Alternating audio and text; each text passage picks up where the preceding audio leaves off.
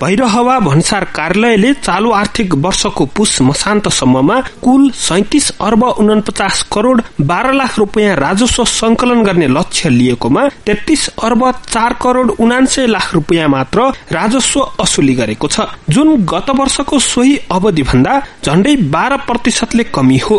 चालू आर्थिक वर्षको असोज महिना बाहेक अन्य पाँच महिनामा कार्यालयले लक्ष्य अनुसारको राजस्व संकलन गर्न नसकेको देखिन्छ। भैरहवा नाकाबाट सिमेन्टको कच्चा पदार्थ क्लिङ्कर जीप कार र भ्यान लगायतको आयातमा कमी हुँदा लक्ष्य अनुसारको राजस्व संकलन हुन नसकेको भन्सार कार्यालयले जनाएको छ। आधा जस्तो चाहिँ यो भेहिकलबाटै घटाएको छ होइन? अब यो अघिल्लो साल मौसमसम्मको अवस्था हेर्दाखेरि त्रिपन्न प्रतिशत रेभेन्यू चाहिँ यो भेहिकलबाट मात्र चाहिँ प्राप्त भएको देखिन्छ भने यो आर्थिक वर्षको मौसमसम्मको तथ्याङ्क एकचालिस पर्सेन्ट मात्र त्यसबाट रेभेन्यू हामीले कलेक्सन गरेका छौँ।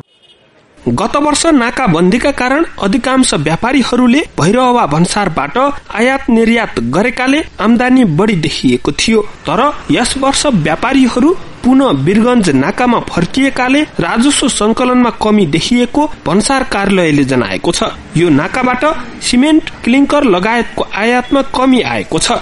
त्यस्तै भारतमा जीएसटी लागू भएको र नेपालमा एक्जिम कोड शुरू भएपछि राजस्व संकलन प्रभावित भएको हो। त्यस्तै गत वर्ष भन्दा यस वर्ष यो नाकाबाट सवारी साधनको आयातमा कमी भएकाले पनि राजस्व असुली घटेको हो। गत वर्ष त्रिपन्न प्रतिशत सवारी साधनबाट उठेको राजस्व यस वर्ष एकचालिस प्रतिशत मात्र उठेको छ। भन्सार कार्यालयले चालू आर्थिक वर्षमा एकासी अर्ब त्रिचालिस करोड़ सतहत्तर लाख रूपियाँ राजस्व संकलन गर्नुपर्ने लक्ष्य रहेको छ। यो नाकाबाट अहिले दैनिक सरदर सत्र करोड़ रूपियाँ बराबरको राजस्व संकलन हुँदै आएको छ।